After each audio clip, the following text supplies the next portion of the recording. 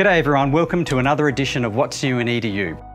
This episode, we're going to do a recap of all of the news that came out of BETT 2020. I'm just about to hop on a Teams call with my good friend Stephen Eustace to talk about what we found out. Hey, g'day Stephen. It's great to see you again after hanging out with you last month at BETT 2020. Today, Stephen and I are going to do a recap about last month's awesome BETT event. Stephen, what is it that you enjoyed most about Bett 2020? Talking to teachers, uh, hearing some, I think, really inspirational stories about how the technology is used in the classroom, seeing some amazing EdTech innovations that are going to really change the game for educators and learners and improve student outcomes for everyone. Yeah, and one of those products that I heard everybody talking about was Microsoft Teams. I know, right? What is it that you love about using Teams? For me, I think uh, some of the things I love about Teams is that it's just really social. It's a real great way to keep in touch with people, to improve communication and collaboration in your classroom, to you know help with assessment, and I think promote active learning as well. That's great. And we had a chat to Justin Chando um, while we were at BETT. Let's watch it right now. Okay, I'm going to just take that one moment. Give me a second. All right, I'm pressing play. Let's do this. So here are some updates to Teams we're really excited to share with you because they'll make collaboration way more fun and effective. We are introducing a new experience for educators to gain insight into student performance, the Class Insights tab. Look for it. Educators can add the new Class Insights tab to their class team and see average grades, on-time assignments, average return time, and conversation activity for their class. Now educators will have a single view to observe individual student and class performance. With student data right at our fingertips, we can make more informed decisions about course content, pace of instruction, and student engagement. Hey, Mark. Oh, gee. Oh, Teamception. That's Teamceptional. I just forgot something at the start, Stephen. Do you mind if I record this meeting? No, that's perfect. Yeah. Just give me a second. I'm not sure if you're aware, but you can do uh, any type of recording, really. It's not just Microsoft Teams meeting recording on any device. I think we saw earlier at BETT, Leslie Fisher did a great video on that one. So let's have a little look. I'm just going to put that link in the box there right now. You can make your own videos from your computer screen, no matter the device. Let me show you how to do this right now. We're going to come in here into Microsoft Stream and we're going to click on Create and select Capture Screen. And then when you click on Record, you can actually choose if you want to record one screen, two screens, or a specific browser window, which is great. You're going to notice that it even creates a picture-in-picture, and I can annotate it, which is super cool. When you're done recording, you actually have the option to trim the video. You can even edit directly in the middle of it. There's all sorts of editing tools that are available for you. Then when you're done, you simply click on Done, you click on Publish, and it publishes the video in the specific location that you want with the specific people that you want to share it with. Gee, that was awesome, right? Yeah, that Leslie, she's always got amazing insights. Now, while I was at BETT, apart from seeing Justin and Leslie, I also saw you. Me and Frank had a great chat. Uh, we were talking about devices that are affordable, rugged, uh, have got some great innovations as well, like Garage Stylus. That was amazing. And I think, yeah, students and teachers are really going to enjoy these devices because they're really going to, you know, impact the classroom in a really positive way. And some of the improvements on these, they're even more rugged. So you're Very talking about rugged. losing, taking these to the zoo. Yeah, you can yeah. take this to the zoo, right? Yeah. You can put a pounding on these Put it guys. in and the lion's mouth. Yeah, and they, that's, um, don't do that. Yeah.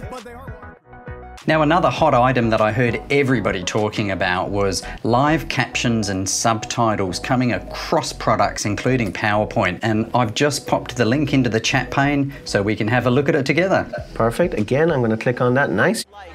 I'm right now in PowerPoint and I'm going to go to the Present Live option. I'm going to click on Present Live. Once I click on Present Live, it's going to display a QR code.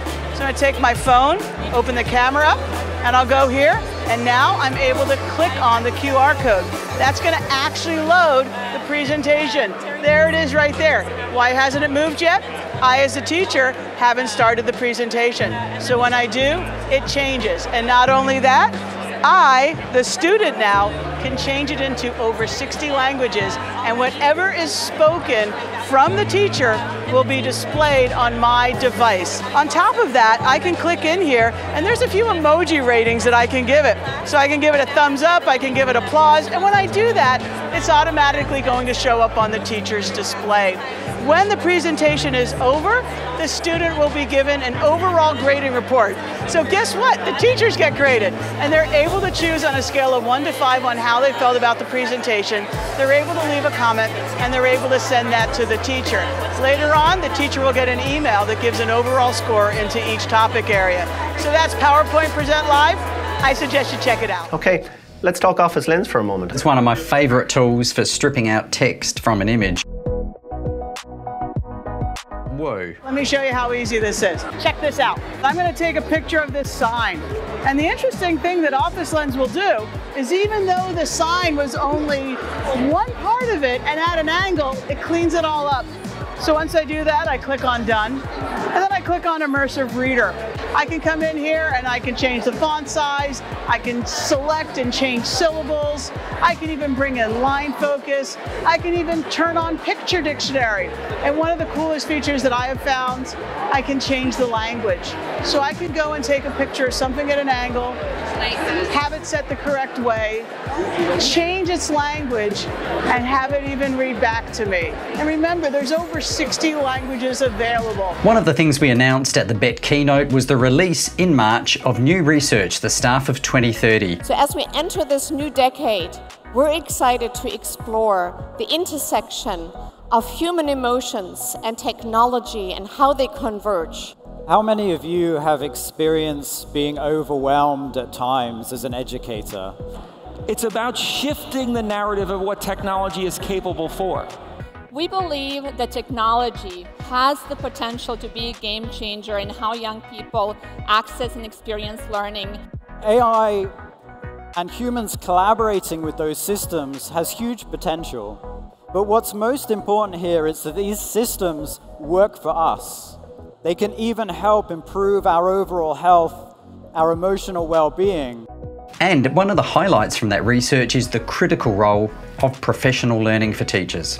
I think the new and improved Microsoft Educator Center really changes the game when it comes to continuing professional development by providing courses and resources that are 100% free and are a real game changer. Hey, Stephen, thanks for hopping on the call with me. It's been really fun to reflect on the news and the announcements that came out of the event. And we hope that everybody watching also found the information and the insights useful. Please check out our new tech tools, free teachers courses and resources, STEM and computer science materials, and advice on boosting future ready skills for your students. Yep, and as always, share your feedback with us on Twitter by using the handle at Microsoft EDU. See, See you, you, next time. time. What are you doing still there? I thought I was going to be coming. Come down the corridor. Hey! If you were down the corridor, why didn't you just come into my office? I just love Teams so much. I thought, hey, let's just call Mark on Teams. Hey, Mark. Great teamwork today. We bought our A team. Oh, this is sign language for an A. this is A E I O U. You go A E I O U. I got a whole alphabet. A B C D E